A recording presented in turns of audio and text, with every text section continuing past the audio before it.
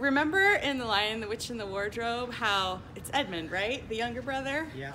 How he's s- seduced kind of by the White Witch in Turkish Delight and he betrays his entire family for Turkish Delight. Well, they had Turkish Delight at TJ Maxx and we're going to try it and see how good it is. I don't even know what this It's is. hard. It's You had this before and you knew.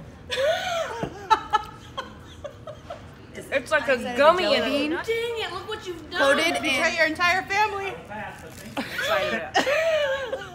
It's bad. It's really bad. No one should betray anybody over this. no one should betray anyone. No. No.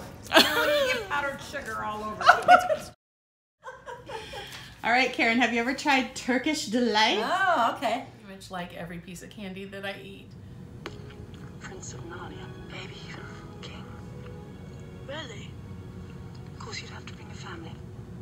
I would probably do it for a chiclet.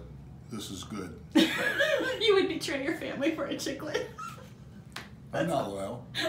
So the consensus is for most people, Turkish Delight really isn't worth betraying your entire family for.